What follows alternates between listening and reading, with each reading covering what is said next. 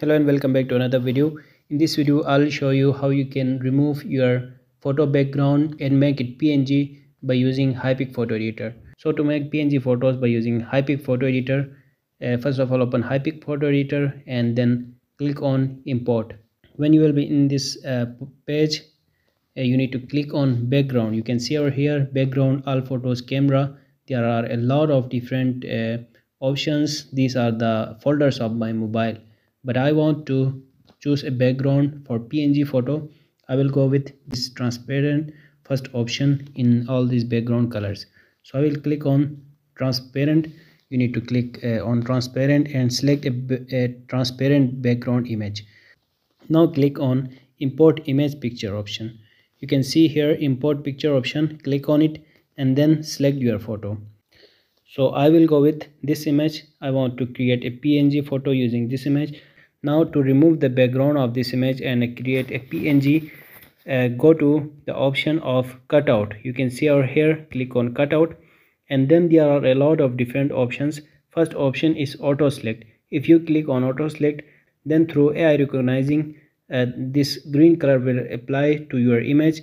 And uh, by using this preview button you can see how it looks like right? If the automatic option did not select uh, the green color properly you can use these tools like the erase tool to remove the color from the background. Like as you can see here the color or this green color is out outside from the image. Now to remove it you can use this erase tool. So click on erase and remove this color from where the image is not selected properly right? So i will remove from there from this option. Also i will move uh, through the image where where this green color is not selected properly right? So i will see throughout the image like here is green color is outside of the image i will remove it. Also you can see eh, in near the ears there is green this green color is outside from the image. I will also select from this glasses option. Now i think this is better. Also if you want to color the image then you can use this manual selection tool now here in the airs this color is not selected properly. I will add green color here. So by using these uh, two tools manual selection and erase you can add or remove the green color from where this color is not added properly. You can also use this quick selection tool. So when the color is added properly click on this tick button from the bottom of screen and then click on merge image. I will click on this merge image option.